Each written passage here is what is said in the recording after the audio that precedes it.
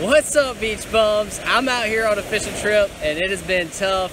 Conditions are pretty terrible. We're on a deep tide. We got dirty water. Pretty much all we've been catching are a bunch of hardheads. I've been wondering what these things taste like. I've had a million people ask me. I've never tried it. So we caught one and I'm gonna eat it. We've been catching them all morning. So this guy's going in the cooler. This is just your standard hardhead catfish. Nothing special.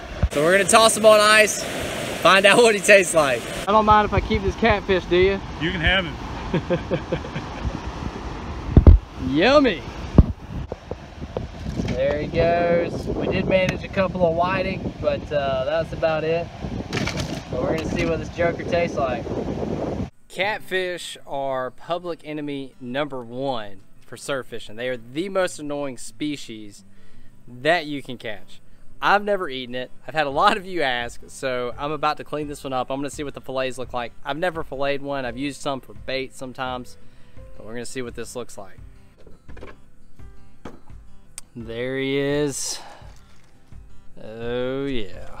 He's not very big. We were catching some bigger ones. In case you don't know, saltwater catfish are pretty toxic with their spines. They've got three on here and you do not want to get poked by one of these. Obviously freshwater catfish have them as well but these saltwater cats have some kind of toxins on them um, I actually got hit you might can kind of see the scar a little bit. It's right there. About three months ago and I still have trouble opening and closing my hand without it hurting. There's evidently some nerve damage. My whole arm hurt uh, for about an hour or two while I was on that trip. It was pretty excruciatingly painful. So you want to be very careful with these spines. So I'm going to try to be careful while I'm cleaning it. Hopefully it'll turn out okay.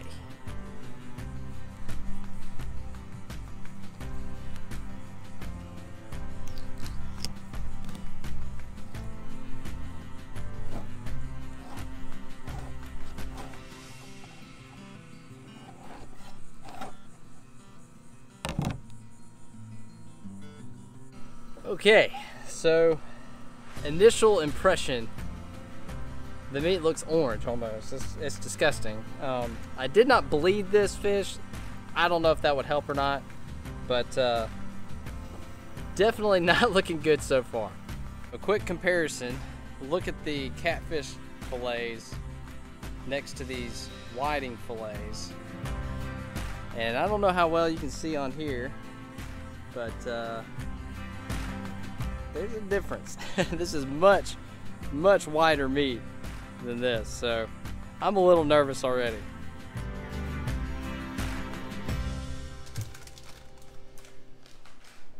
I have shown this fish no special treatment whatsoever. I did not bleed him. I didn't soak him in milk. And I'm just going to cook this. Where's it at? Uh, here it is. I'm just going to cook this like I would most any other fish. This is like the easiest way that I can come home and cook fish for lunch is just baking it and I just use lemon pepper and some butter. And so I'm gonna cook it with the whiting because obviously I don't have a whole lot of catfish and I anticipate my hypothesis is it's not gonna be very good, but I don't know, who knows, we'll see. Uh, so I've got lunch at least, but I'm gonna cook it the same way. So we'll be able to do a little bit of a comparison versus a fish that we know tastes good versus a fish that we are uncertain of. Yum, yum. Look at that. I don't know if you can tell on the on this, but it, I'm tell, it looks orange almost. It's like really nasty looking. And I I have not bled. Um, I've, I've had sail cat before, and I don't bleed those, and they they're fine. So I don't know. This is looking pretty suspect, though.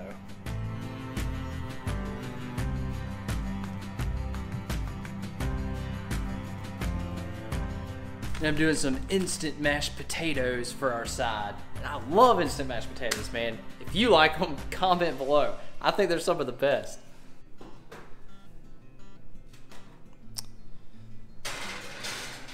There goes nothing. Our catfish is cooking and I'm a little bit nervous about this one.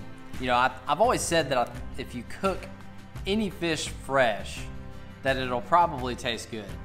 But I'm pretty skeptical about this particular fish because it looks nasty. That meat just looks disgusting.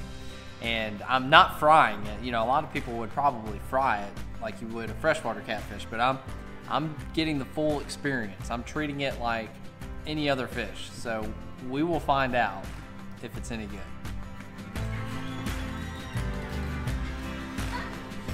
Hello. Did you want me to close the garage? You can leave it open. Courtney has shown up to Hello. join the experience. I'm uh hey. Say hey. Tell hey. You know what I'm doing today? No. She doesn't know what I'm doing. Fishing? Yeah, you're all- That's a good guess. I'm cooking hardhead catfish. Ew. Yeah. I mean, I guess I've never tasted it, so I don't really know if it's ew, but. We're about to find out. Courtney was kind enough to hold the camera for us. Here's our completed product. This is our little tiny catfish fillets, and this is all the whiting. We'll see how it turns out. Well, here goes. I am slightly nervous about this, but we are going to see if it's if it's any good. So let's cut into it. Here, I'll show it to you if you can see. Man, this does not look very appetizing.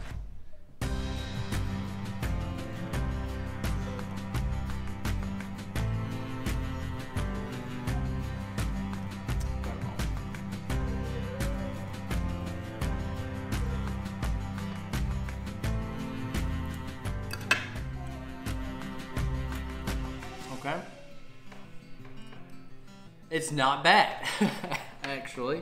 Let me try it again. Let's see. We'll get another bite.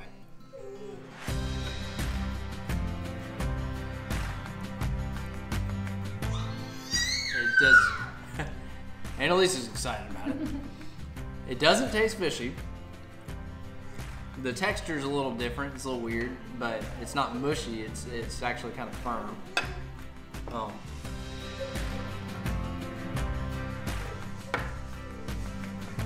really not that bad.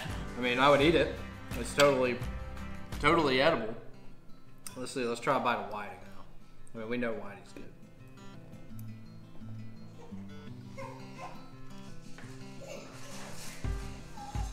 The whiting is definitely better.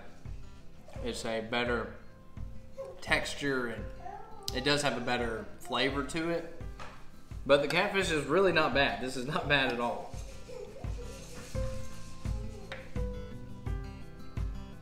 It ta- it's very mild. I taste the lemon pepper. I mean, it tastes like the seasoning I put on it. If I was hungry, I'd definitely eat it again. it's not that bad. Not bad at all. I don't think I'd be keeping them for my clients because it's just kind of weird, but it wasn't bad. wasn't bad at all. Well, guys, I hope you enjoyed the video. If you want to try catfish, it's not that bad if you eat it fresh. I caught this maybe like two hours ago now, so it's extremely fresh. But if you're just hungry, looking for fish, it's not that bad.